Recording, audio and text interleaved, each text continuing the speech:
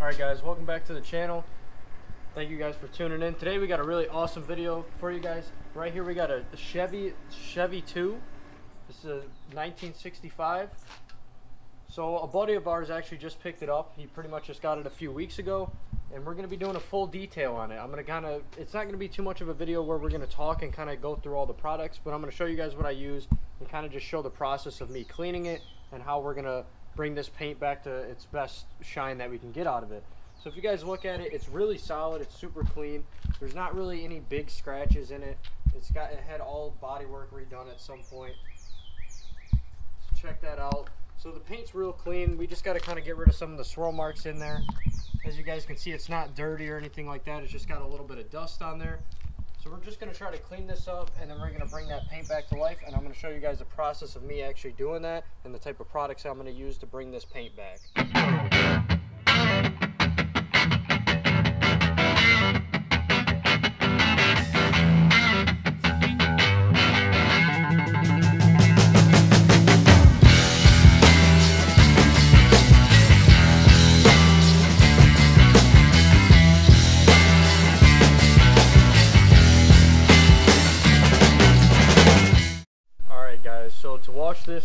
I'm going to be using Car Pro Reset.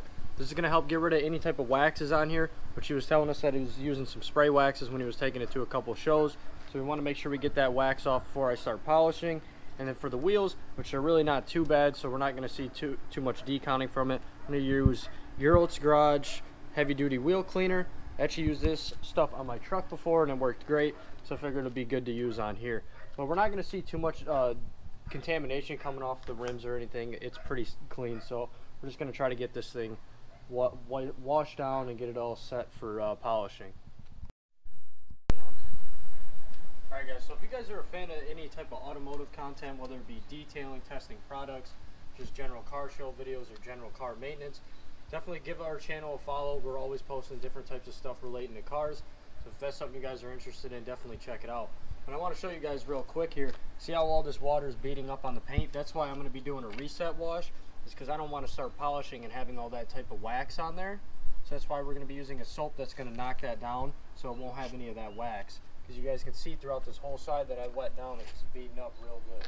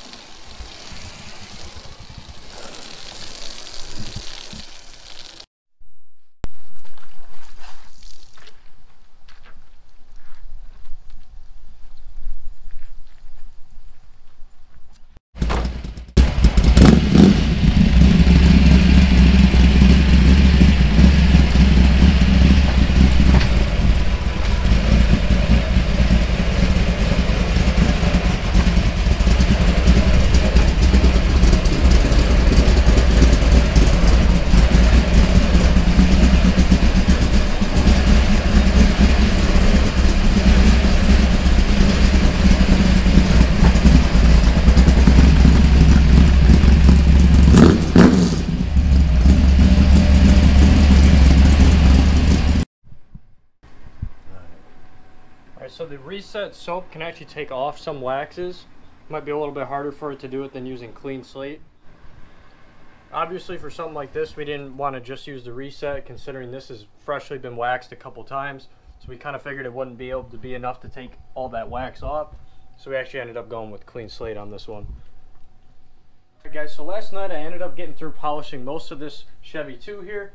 So this was one of them cars that you actually have to kind of test a bunch of different spots and try a bunch of different products. So I actually started out using this Moneymaker 3-in-1 by Auto Fanatic. So this stuff is really good. It obviously, as it says here, is it clean, corre corrects the paint, and protects it. So this stuff was working great on getting out the swirl marks. But as I was looking at it in different lighting and stuff, trying to make sure and see it, what it was doing, I started noticing that there was a, a lot of deeper cuts or uh, imperfections in the paint, a bunch of different scratches. I don't know if the camera will pick up most of them, but it was it was a lot worse than I actually initially thought that it was going to be when I started polishing. So I decided that this one was not cutting enough for what I needed it at the time. So I actually ended up changing out that product and ended up going with 3D Speed here. Now this product was working great with getting out a lot of those scratches and kind of giving it a nice deep shine also. But there's still a little bit of imperfections in the paint. It's not, we're not going for 100% perfect right now. We just want to kind of have it shined up and, and protected for uh, crews coming up. But this stuff was working great on getting a lot of those different kind of scratches out and all that different type of stuff. So I, I had to decide if that was going to be enough, if I was happy with just using this and calling it a day after polishing it, or if I wanted to kind of perfect it a little bit better. So I decided that I actually wanted to make it look a little bit better. I feel like I could do that. And so I used this Griot's Garage Correction Cream throughout the car. And as you guys can see now, it's got a real nice shine here. It brought back a nice shine to it. There is a little bit of scratches in there that are definitely a lot deeper in the paint that we're looking at that we may go back uh, later on down the line and, and perfect those. But for now, I got rid of a lot of those small scratches. I got rid of all the swirl marks in there. It brought back that nice deep gloss look to the car, and we're real happy with it. We do have to still do the roof to it, so we'll kind of do a little footage of us uh, polishing that. But I got most of the car done, and you guys can see the results there. Like I said, sometimes, you know, when you're getting ready to polish a car, it's kind of a hassle because you don't know what to use going into it. And even when you are getting into it, you have to constantly check and make sure that what products and pads you're using are doing a proper job at getting rid of those scratches.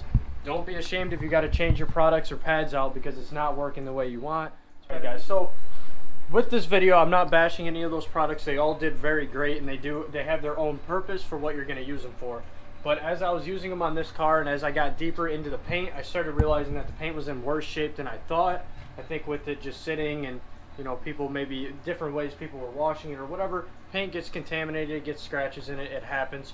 Those products work great for what they're designed for, but on this car I had to change up some things and go with a little bit heavier of a cut. Still recommend those products, they were awesome, but like I said, you always got to change up your tactic when attacking these old paints. Alright guys, right now we're using an HDL blue cutting pad with that correction cream If you guys are interested in any of the products we used in this video, we're, we're going to have all of them in the description so you guys can check them out and order those for yourself.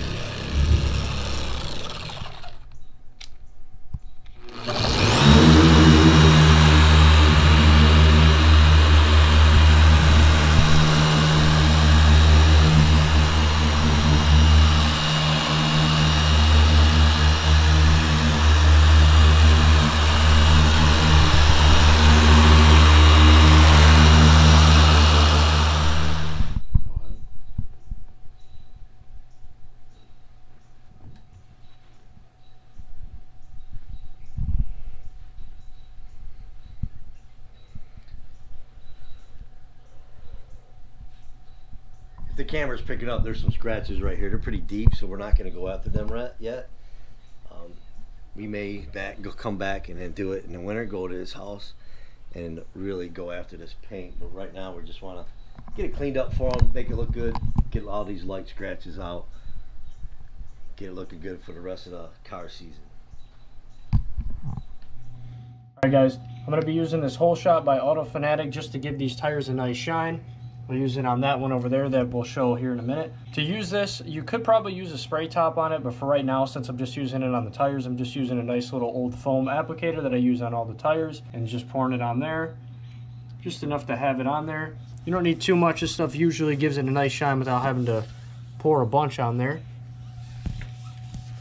Kind of hard, we'll have to get that top part once the car moves. But as you guys can see, it's giving that nice deep wet look that we like to see on these tires after a nice clean detail. Never want to forget doing the tires. And there we go. That's all you got to do. Give that nice shine. Alright guys, so after we finished polishing the whole car, I'm gonna I was using some of this Turtle Wax Hybrid Solution ceramic spray coating. So I actually have a lot of personal experience with this. This is what I was using on my 2004 F-150 keeping that clean. So I figured this would be a great product just to throw it on here. This is a garage kept vehicle. It's not going to be seeing a bunch of elements like rain or anything like that. And we also wanted to use products that the owner can go to the store, pick up, and just put onto his car without having any hassle of ordering anything and just being able to find this stuff in any store. So we got already got most of the body done. I just got to do the roof and that's it.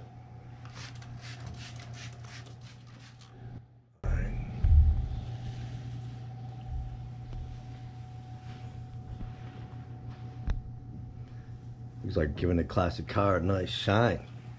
Plus, too, at the end of the video, we're gonna take this to a scenic spot to get some final footage instead of in the driveway or the garage for you guys. Don't forget to let us know what product you guys use on your cars or recommend any products for a vehicle like this. Let us know.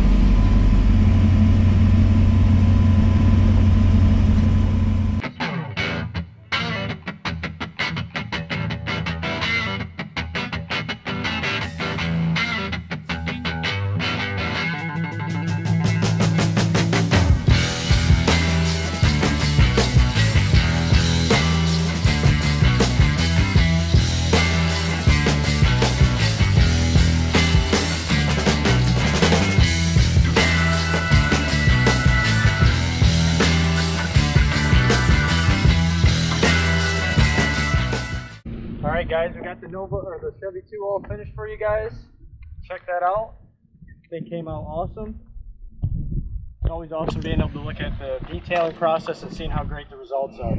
But hopefully you guys enjoyed the video. If you guys have any video suggestions that you guys want to see us do, leave them in the comments. Give us uh, any type of detailing products, anything like that. Put in the comments so we can check out those products. But hopefully you guys enjoyed. If you guys did, don't forget to subscribe and like the video and check out all our other stuff on our channel. Thank you guys. Yep. Appreciate you guys watching the video.